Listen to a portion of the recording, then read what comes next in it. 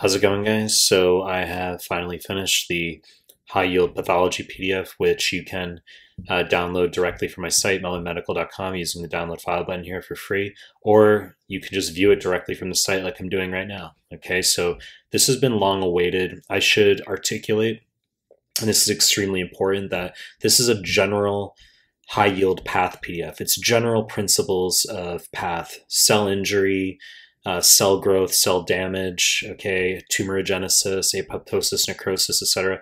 General principles. If you are looking for high yield pathology, comprehensive path in specific subject areas, e.g., cardio, pulm, renal, gastro, etc., do my high yield PDFs in those subjects because they're loaded with path. So if you're looking for quote unquote like comprehensive path for USMLE, literally do all of my PDFs they're jam packed with path. So I once again I preface slash articulate this because this is a general pathology PDF. It's in no way meant to be fully comprehensive where I, I, discuss endless diagnoses and pathophysiologic mechanisms.